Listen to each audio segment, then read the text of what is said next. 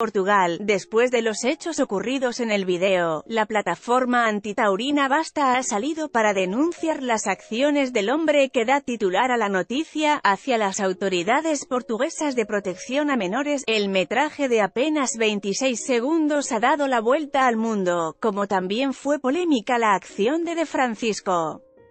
Rivera hace dos años cuando toreaba con su hija de solo cinco meses en brazos, y declaró a los medios que nunca ha estado más segura. Este caso el hecho se situó no en una plaza sino en un correcalles en casa de Ribeira de la isla de Terceira, correspondiente al archipiélago de las Azores.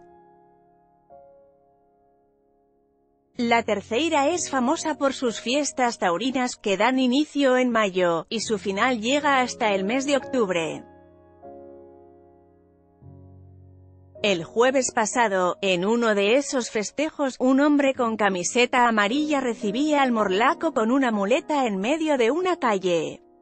En su otro brazo llevaba a una niña, de unos tres años de edad, presumiblemente su hija.